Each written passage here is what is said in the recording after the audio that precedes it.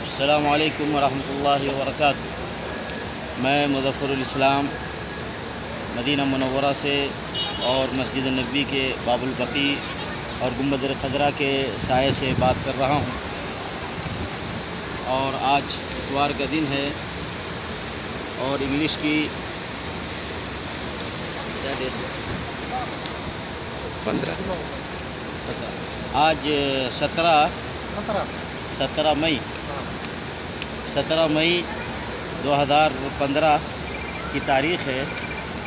میں اس وقت کھڑا ہوں اور آپ لوگوں کو یہ دکھانا چاہ رہا ہوں کہ یہ اس وقت گنبد خطرہ کا سایہ ہے۔ اس وقت تقریباً عصر کے چار بجے ہیں اور مسجد نبی میں عصر کی اذان بھی ہو چکی ہے۔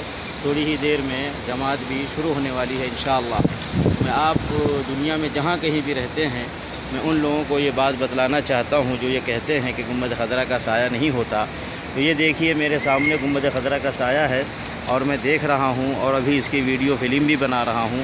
اور یہ دنیا والوں کو دکھانے کے لیے کہ یہ گنبد خضرہ کا سایہ ہے اور جو خود ڈائریکٹ اس کا سایہ نکال کر میں آپ لوگوں تک پہنچا رہا ہوں۔ تاکہ ان لوگوں کو معلوم ہو جائے جو یہ کہتے ہیں کہ گمت خطرہ کا سایہ نہیں ہوتا، وہ اپنا عقیدہ صحیح کر لیں اور اپنا ایمان صحیح کر لیں اور یہ جان لیں کہ گنبد خطرہ کا سایہ ہوتا ہے۔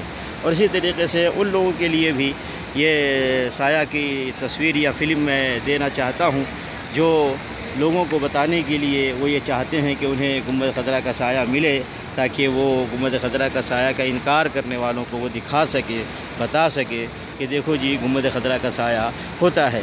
تو اس طریقے سے آپ جیسا کہ دیکھ رہے ہیں گنبد خطرہ کا سایہ صاف موجود ہے۔ عصر کا وقت ہے، تقریباً شام کے چار بجے ہیں اور یہ گنبد خطرہ کا سایہ ہے اور یہ ڈائریکٹ آپ گنبد خطرہ بھی دیکھ لیجیے۔ ساتھ میں گنبد خطرہ بھی دیکھ لیجیے۔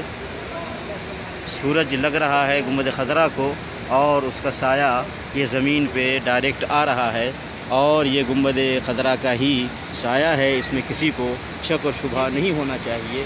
اس لیے لوگ اپنا ایمان درست کر لیں اپنا عقیدہ